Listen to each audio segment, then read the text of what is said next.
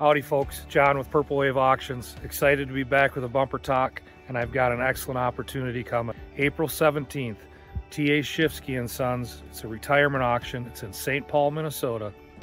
Hundreds of beautiful assets, late model stuff, quad axle dump trucks, quint axle dump trucks, skid steers, pavers, uh, dozers, excavators, you name it. It's it's just a great lineup of equipment. Things will be coming online in the next you know week or so.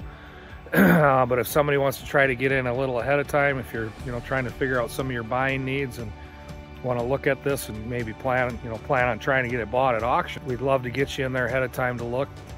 Certainly, there's going to be open houses and other opportunities to, to look at the equipment. But yeah, purplewave.com, April 17th.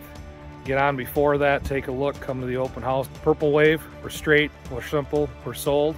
We're always online, purplewave.com.